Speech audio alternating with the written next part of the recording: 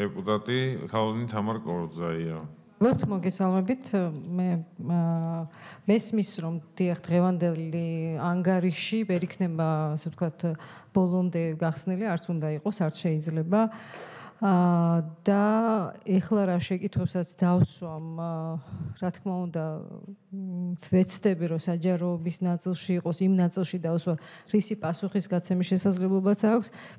ბატონ ლევანს ღია მოსმენაზე თუმცა ასეთი ღია მოსმენა მე ვფიქრობ არ არის საკმარისი იმისათვის რომ პარლამენტის წევრებმა ჩავთვალოთ რომ ჩვენ წინაშე ანგარიშვალდებულება შესრულებულია უსაფრთხოების სამსახურის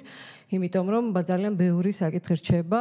რაზეც კითხვები რაზეც პასუხები სჭირდება პარლამენტის წევრებს იმისათვის რომ დარწმუნდნენ საქმიანობის ასე ვთქვათ სწორად წარმართვაში აბსოლუტურად ვიზიარებ ბატონი ზაქარიას პირველ შეკითხვას, იმიტომ რომ მეც ამით მინდოდა დაწყება, ანუ რა რაზეა საუბარი, როდესაც მაღალი თანამდებობის პირების მიმართ, ასე ვთქვათ, უსაფრთხოების სამსახურების მიერ განხორციელებულ ღონისძიებებზე საუბრობთ. ასევე ყველა საკითხი გაჟღერდა, რაც მაწუხებდა, მაგრამ მე მაინც ხას გავსვამ თქვენს ანგარიში, დიახ, საუბარია და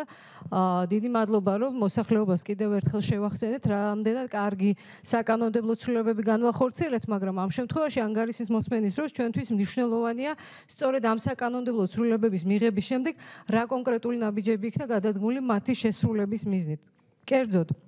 როდესაც მივიღეთ კანონი უსაფრთხოების სამსახურის შესახებ და უსაფრთხოების ოფიცრების ინსტიტუტი გაუქმდა,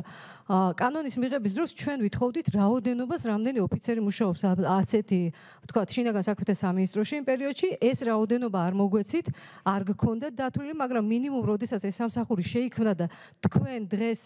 ამბობთ, რომ მაგალითად თბილისის სახელმწიფო უნივერსიტეტში იყო და მე უკვე ეს აღარ იყო უსაფრთხოების სამსახურის თანამშრომელი, მინიმუმ ეს ინფორმაცია დღეს თუ ღია, ჩვენ უნდა გქონდეს დღეს მაგალითად საჯარო ჩამონათვალი სად არსებობდნენ და დღეს სად არ მუშაობენ ეს ადამიანები რომ ჩვენ გქონდეს იმის იმედი იმის რა ქვია ხედვა რომ ვიღაც ბოროტად არ სარგებლობს და კანონს არ არღვევს და ასე ვთქვათ არ ქმნის იმ განცდას რომ პოლიციური სახელმწიფო ამ ქვეყანაში. ერთი სიტყვით მინდა გითხრათ რომ ის გარემოება რაც დღეს არის ქვეყანაში და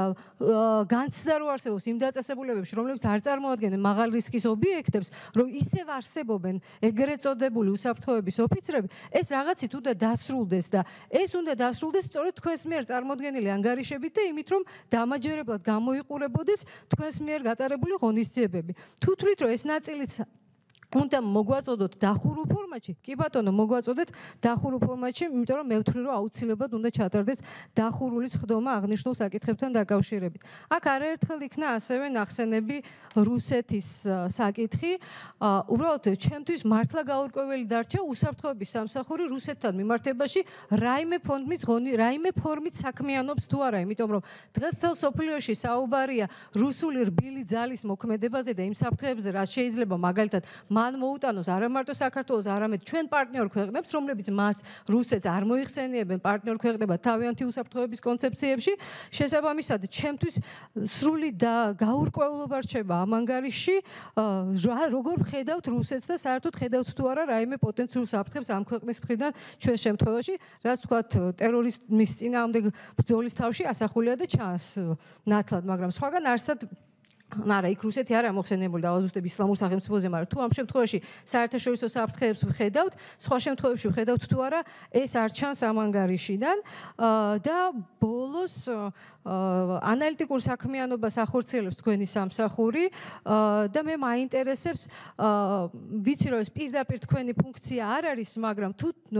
დაიწყეთ თქვენ ნაწილში მუშაობა უსაფრთხოების კონცეფციის გადახედვაზე, რომ შემდგომ ითანამშრომლოთ სწორედ კრიზის უსაფრთხოებისა და კრიზისების საბჭოსთან, იმიტომ რომ ძალიან ძველი უსაფრთხოების კონცეფცია გვაქვს, რომელიც არ პასუხობს აბსოლუტურად თანამედროვე, ასე ვთქვათ, საერთაშორისო გამოწვევებს და ამ მიმართულებით გადადგმულია თუ არა რაიმე კონკრეტული ნაბიჯები. აი ეს ვფიქრობ, ეს არის ის სფერო, რომელზეც შეიძლება საჯაროდ ასე თუ ისე ვილაპარაკოთ, ხოლო რაც შეეხება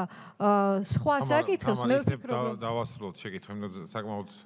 ერთი საკითხი მაქვს და მორჩა ვასრულებ მე. აა რაც შეეხება ისეთ საკითხებს თუ რა კონკრეტულად დემოკრატიული ღონისძიებები გატარდა, მაგალითად მაღალი რისკის მქონე ობიექტებთან, რა პარკლებში ფორმდება ხელშეკრულებები და ასე შემდეგ და ასე შემდეგ, მე ვფიქრობ, რომ ეს ალბათ დახურულ ფორმატში უნდა გავიხილოთ აუცილებლად, იმიტომ რომ ჩვენ ასეთი ფორმატში ანგარიშების მოსმენით ნამდვილად ვერ ვახორციელებთ საპარლამენტო კონტროლს. დიდი მადლობა. მადლობთ